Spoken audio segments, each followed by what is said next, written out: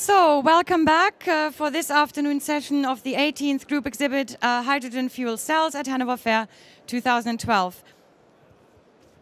Uh, we're going to be joined now uh, by the founder and managing director of Future E Fuel Cell Solutions GmbH, Mark-Uwe Oßwald, and we're going to discuss Jupiter fuel cell systems for smart grid and off-grid power. So please, a very warm welcome for uh, Mark-Uwe Oßwald.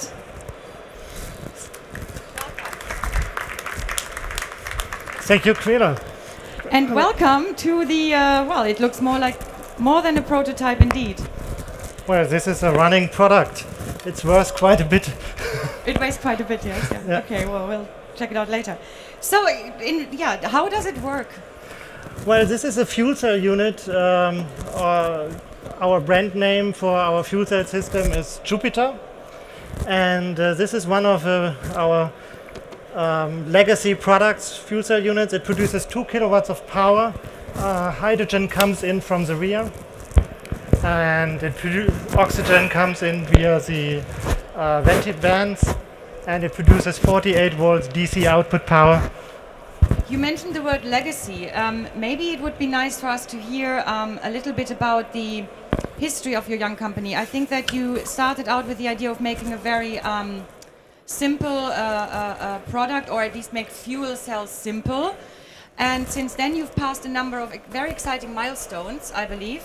So maybe you could tell us just uh, a little bit about the, the history and the achievements of your very young company. Yeah, thank you uh, for having that opportunity. Legacy because we have this product already in the field for now about three years. Uh, we started out in 2006, actually a typical startup situation, not in a garage but in my basement. Um, first product was a fuel cell system for a boat. In, uh, then we received funding from business angels. Um, we presented our first prototype. We participated in this exhibit first time in 2008 and we presented actually what you see here, uh, Jupiter fuel cell system. Back then it was, however, not yet in customer hands. And 2008, uh, we had the first installation with our lead customer, Deutsche Telekom. They use this type of fuel cell system to protect their network nodes, to provide backup power to the network nodes. And coming to the title of this uh, uh forum, also they use our fuel cell system to participate in the smart grid. So they use the fuel cell also for peak power shaving and also to participate in the minute reserve market in English tertiary power market in Germany. So multi they made more money out of it than uh, just backup power. It continued very well. In 2009 we presented a real system because they were reordering. Uh, continued even better. In um, 2010 they invested after having bought uh, fuel cell systems from us to protect some of the network nodes. Uh, their venture arm even invested in us, so they are an investor in Future E now. And uh, is going great. Last year we were showing uh, our um, distribution of installations across Europe. The customer base is broadening and um, this year, actually, we show our Jupiter Independence product, an innovation product-wise, where we have also added or integrated an electrolyzer now. Very interesting. So, in summary, um, Deutsche Telekom is a, a, customer that ends up also investing. You've had angel investment, other investments.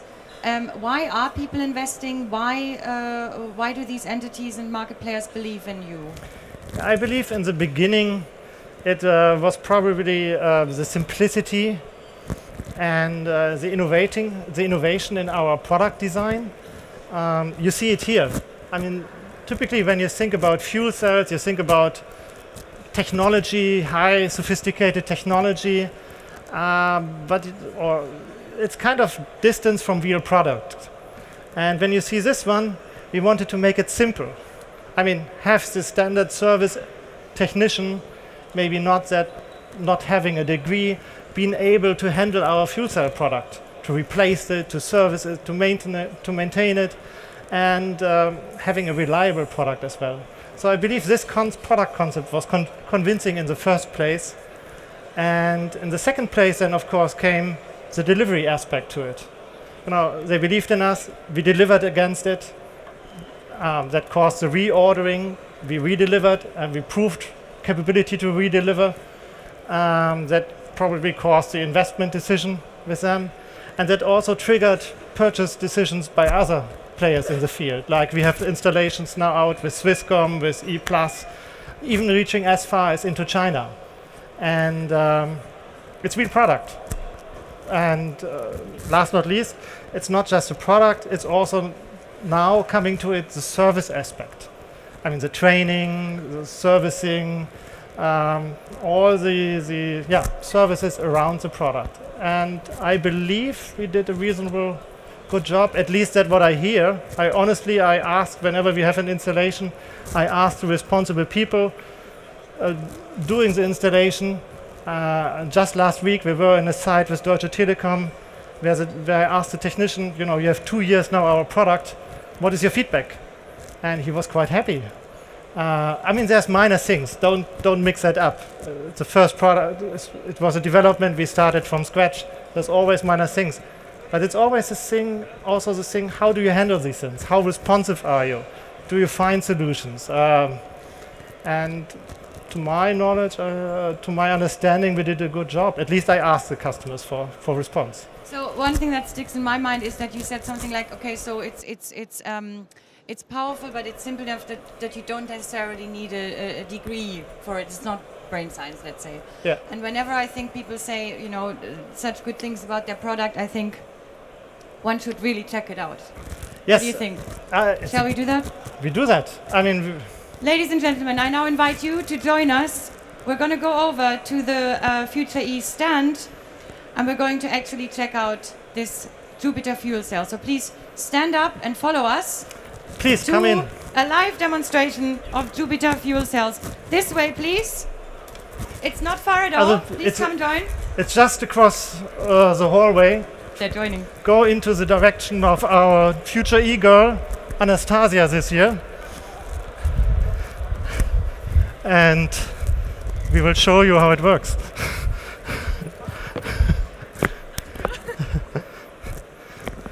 so please come in. Oh, Uh, okay. Can you hear me all? Um, so may I uh, present to you my founding partner? Actually, it was not just me founding Future It was also Bettina Drehmann, and somewhere around here is our technical head Siegfried Limmer.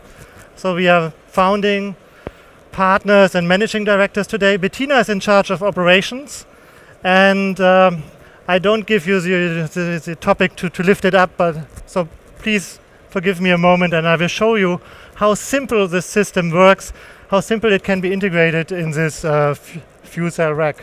go ahead and I'll bring Oh, ist schon gut. Okay, so it's just lift it up, uh, put it in the rack, put it in, and the central con- and now I continue with the explanation here via the microphone. Uh, you have seen I, I lifted it up. It's a working fuel cell unit. Um, now it connected automatically to the central canvas control to the controller on the top. Uh, we have three such units installed in this fuel cell system now, so it makes altogether six kilowatts of power, and it can produce power emission-free, silent, and uh, replacing incumbent technologies uh, such as diesel generators or large battery banks.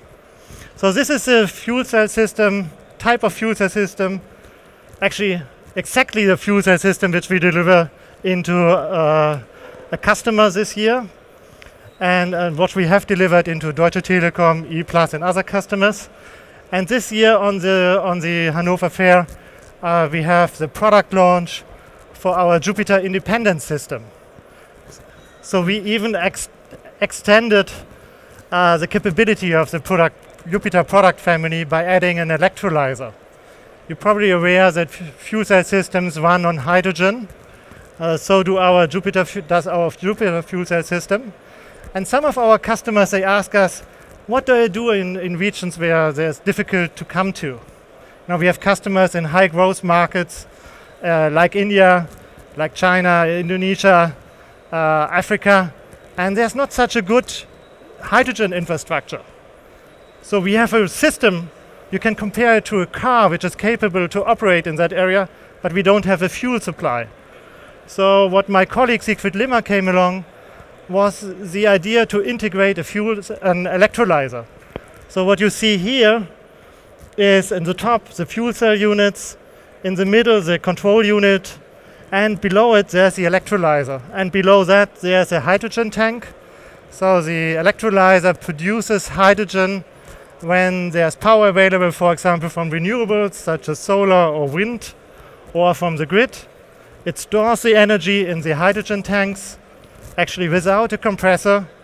And when the grid fails, or when there's no wind or no sun, then the fuel cell system, just as our regular Jupiter fuel cell system, jumps in and provides the power. So in terms of renewables, it makes renewables reliable. In terms of grid connected, it also offers the opportunity uh, to participate in a smart grid environment, not just providing power, but also working as an energy sink. So we have, uh, for example, in the energy grid peaks when there's wind, too much wind available, wind power available. We don't have consumers, but we can use the electrolyzer to store it and provide the energy back uh, when the energy is needed at peak demand times. Thank you for following us. Are there any questions? We do have time for a couple of questions before we move back because there'll be another presentation straight after. Any questions from you, the wonderful audience of this session? Yeah, good. Please come a little forward. come forward anyway. Can you give us any information what price, price range this modules are? I, I, I learned it's, it's modular, but what is the base price and what, what's the rough, a rough price? Yes, um, that's a frequent question which is asked. Uh, I will not share detailed price information. However, a good rule of thumb, if you want to calculate for a fuel cell solution, is either $3,000 per kilowatt or 2,500 euros per kilowatt. That's pretty much a fuel cell unit. And then it comes, what enclosure do you want? Is it an, an outdoor enclosure, indoor enclosure? What power level? Is it 48 volts, 60 volts, DC, AC, integrated in a container? Uh, there are so many questions which are customer specific. Uh, but when it comes down to the basic fuel cell, that's, that's the price. One more? Anyone? Otherwise, I will have to ask my last question. Uh, who, who is your dream customer and why? Yeah, um, thank you for asking that, and maybe you can help to fulfill that dream. Or I believe it's not really a dream.